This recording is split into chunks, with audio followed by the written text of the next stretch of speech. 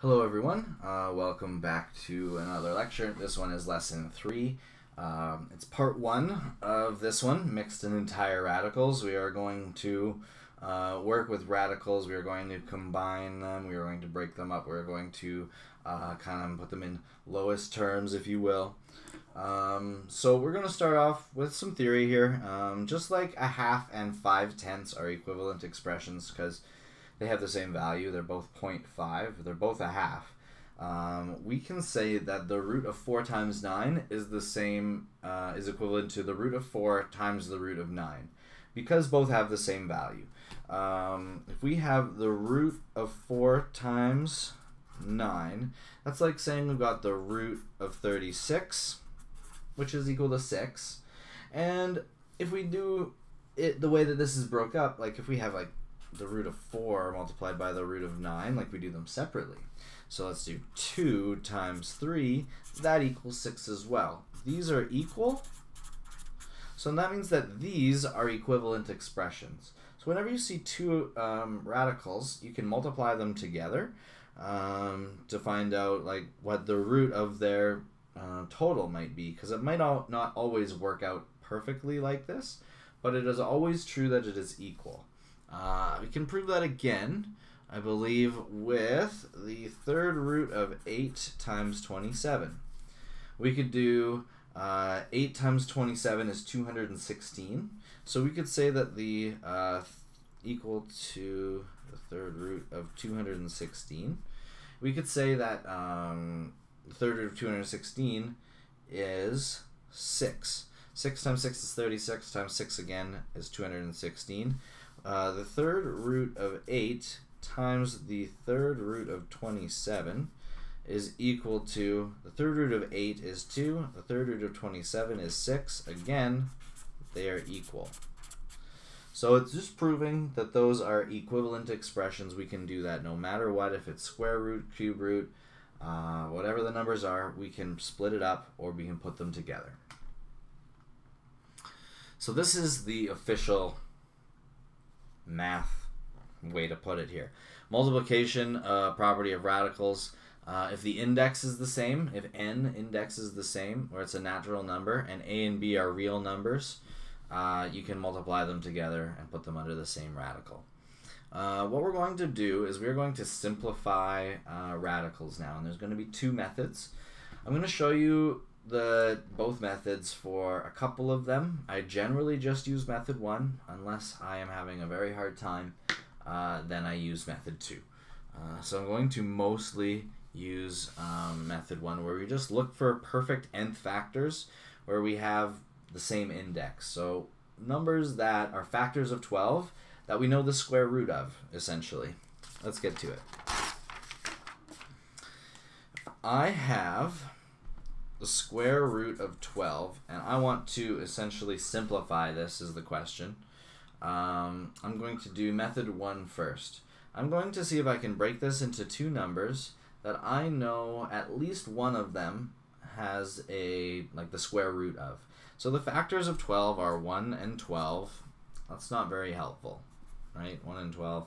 We don't want to do things by 1. We could do 2 times 6 but I don't know the square root of 2 and I don't know the square root of 6, so that's not helpful in this situation. And I could do 3 times 4. I know what the square root of 4 is. The square root of 4 is 2. So I could write the square root of 12 as the square root of 4 times 3, right? The two factors of 12. And because 4 times 3 is equivalent to the root of 4 times the root of 3, what I actually have, because I know the root of 4 is 2, what I really have is 2 roots of 3. And not that the root of 3 is a variable, but we do treat it like a variable. And it is generally, we keep it, we treat it like a variable when it's a number so low that there are no factors that we can square root. So something like um, the square root of 6, although it's not a prime number, there are no factors that we know how to square root. 1 and 6, uh, 2 and 3, we don't know how to square root any of that. So then we're going to treat that like a variable, and that's as low as we can go. So the answer that we have for the root of 12 is 2 roots of 3. The other way that we can do it is by prime factoring. So if we take 12 and we prime factor it, um, let's do 4 times 3 and then 2 times 2 to get 4. I can now write these numbers in a row similar to like I would like a set of prime factors but underneath a radical sign. So when I have a radical sign, I have 2 times 2 times 3. And remember that this number up here is a 2. Whenever there's nothing there, it's a 2. So whenever I have the same number of a number as that number up there, so I have two 2's and I have a 2 up there for the square root, that means that I can pull that whole number out and I don't need to have a square root anymore. So I could write this as 2 roots of 3. I still have one root of 3, so I can't pull that out.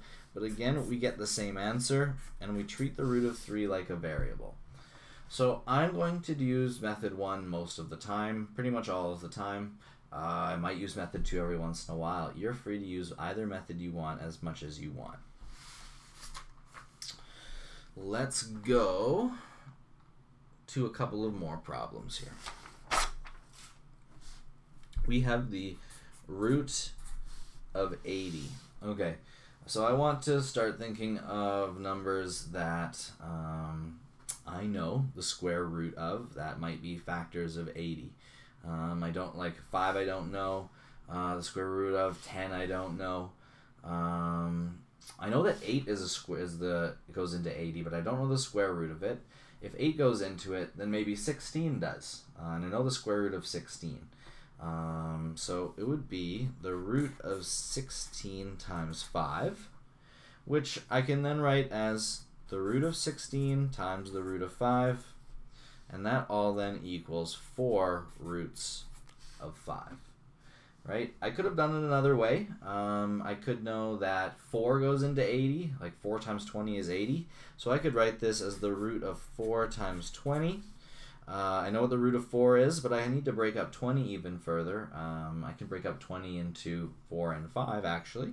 So I would say that this is the root then of 4 um, times 4 times 5.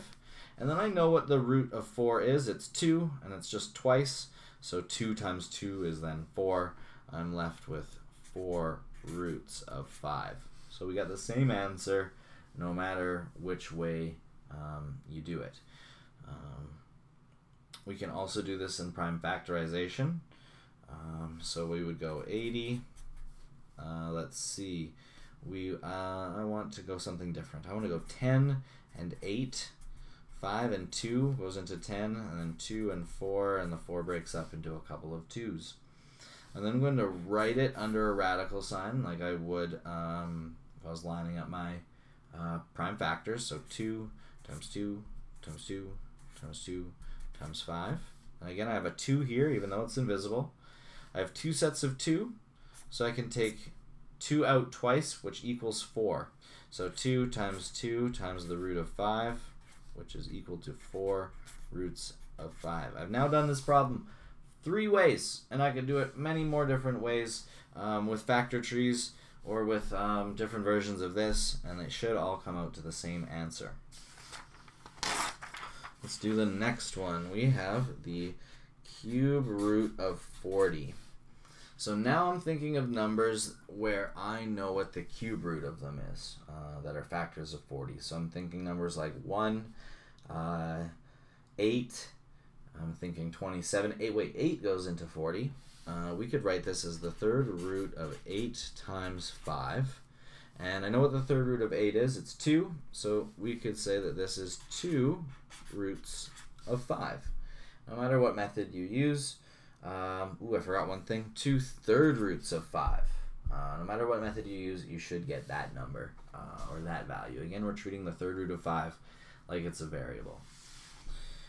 Let's see, we've got the fourth root of 162.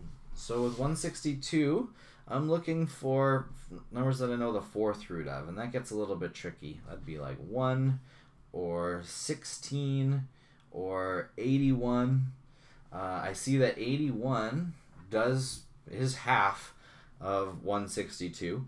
So um, being familiar with these numbers makes it much, much easier to do these problems. Uh, because this is a little bit of an awkward one, I will do this as, um, I'll do this in two ways. I'll do this uh, that way, where I have 181, or I have 81 times 2, and where I have the prime factorization tree. So I know that 162, uh, 81 goes into it, and I know what the fourth root of 81 is. It's 3. So um, we can now write this as the fourth root of 81 times 2, which is equal to, well, the fourth root of 81 is 3 times the fourth root of 2. So there is our number. Um, we have next. We have the four, the root of 24 divided by 2. That is our next one. And then we have some try it on your own for you guys to do. Uh, we know what the oh I did I, said I was going to do the prime factorization tree, so I will do that. Uh, 162. Let's divide it by two, so that's 81 and two, nine and nine, and that's four threes. Then in our prime factorization tree, we can then write it out. The fourth root of three times three times three times three. Um, and then, oh, I should have wrote the two at the front, but I'll write it at the back. Now, because I have four threes, and it's a four out here, I can pull out a single uh, three. So I get three fourth roots of two. And again, they're the same. Let's do the root of 24 divided by 2. And essentially in these problems what you're going to do is you're going to do the top and then afterwards you're going to divide it all by 2. Uh, that's the easiest way to go, uh, to go about it. So some factors of 24 that I know the square root of. Well, I know that 4 goes into 24 six times. So I could write this as the root of 4 times the root of 6, all divided by 2. The root of 4 is 2, so I could say that's 2 divided by 2 roots of 6 divided by 2. These cancel out, and I'm left with just the root of 6. And I don't go any lower because I don't know any roots of any numbers that are factors of 6. So that is essentially as low as we can go and as simple as we can make it. Um, there are three tried on your owns, so definitely try those out. Pause the video, and when you're done, uh, come on back and we will give them a try. Okay, so let's do it. We have first the root of 63. Uh, the root of 63, um, 63 is a really common number to me because I know that it is one of those factors of 9, you know, when you use your fingers. I know that the root of 9 and the root of 7 would get me the root of 63. Uh, and I know what the root of 9 is, it's 3. So I can say that this is 3 roots of 7. Uh, I don't know any factor. Fa- seven's a prime number, so I don't know any factors. Uh, and I don't know the square root of any factors of it, so it, it's just left as that. Uh, we have the third root of 108. Uh, 108, I know that 12 goes into it. Uh, there must be a couple of other numbers that go into it, Well, actually the back two numbers are divisible by 4, right? 8 is divisible by 4, which means that this whole number must be divisible by 4. So let's see. Um, if I was to take 4, 4 times 25 is 100, so that means 4 times 27 would get me um, 108, and 27 I know the cube root of. So there could be the cube root of 4 times the cube root of 27, and I know the cube root of 27 is 3, so that is 3 cube roots of 4. Excellent. Excellent, excellent. We can move on to the last problem. I guess I'll leave that on because there's space. We have the fourth root of 128. And again, uh, we're looking for numbers that are kind of difficult, like 16 and 81. Let's use the prime factorization tree method on this one. So let's just break it up here. Um, I know that 128 can be broken down, divided by 2, and so 2 and 64 are, uh, are numbers that can work. And then 64 is 8 times 8, and 8 times 8 is 4 and 2, and then the 4s are broken down into twos. So I can now write this as prime factorization, set of prime factors underneath the root of 4. So the root of 4, and I have 1, 2, 3, 4, 5, 6, 7 2's. 1, 2, 3, 4, 1, 2, 3, 4, 5, 6, 7. Is that correct? I believe that is correct.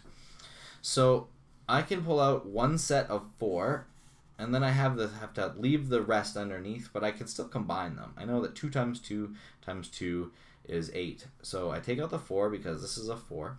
So I would have 2, and then I would have the fourth root of 2 times 2 times 2, which is 8. That would be our simplified radical. There you have it. I believe there's some do nows. Yes, there's some do nows for you. Lucky you. Uh, give them a go and let you know. Let me know if you have any problems. Thanks.